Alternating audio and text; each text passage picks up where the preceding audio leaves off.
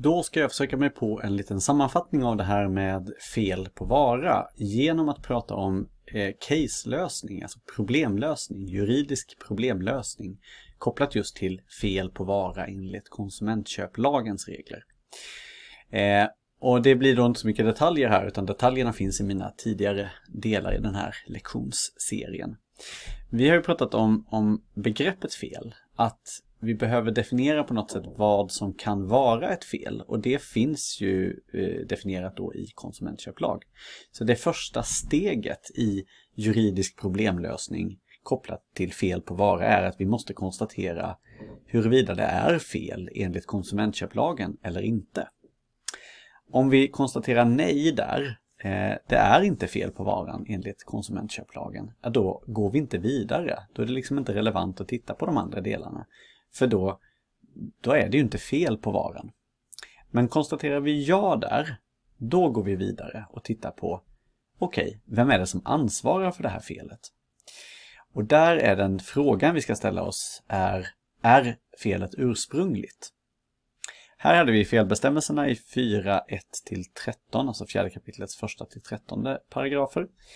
Vem som bär ansvar för felet finns i fjärde kapitlets 14 till 21 paragrafer. Där 14 är den som vi har pratat om mest här, som är den absolut mest centrala. Men också andra kapitlets tredje och sjätte paragrafer. Där definieras det här som vi pratade om med riskövergång och ursprungligt fel. Eh, och då har vi sagt ja här, det är fel enligt KKL, enligt konsumentköplagen. Och så säger vi ja här också. Felet är ursprungligt. Det vill säga det fanns vid riskövergången. Då går vi vidare till steg 3.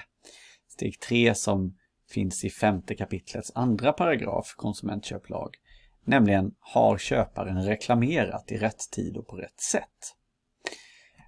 Svarar vi nej där, då kan vi inte gå vidare och pröva påföljder för att om jag inte har reklamerat varan på rätt sätt, då kan jag inte heller kräva någon påföljd. Så svarar vi ja på steg 3, jag har Eh, reklamerat på rätt sätt i rätt tid och så. Då går vi vidare in i det sista steget av problemlösningen, nämligen steg 4 som handlar om vilka påföljder kan jag då kräva. Och det här finns då framförallt i femte kapitlets första och tredje till elfte paragrafer.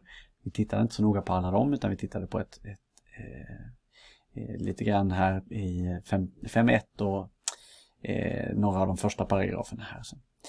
Eh, och så finns det bestämmelser i sjätte kapitlet också. Sjätte kapitlet handlar om påföljden eh, skadestånd. Så den har vi inte tittat på så mycket detaljer kring utan det kan ni gå in och läsa er till själva. Så eh, steg för steg problemlösning.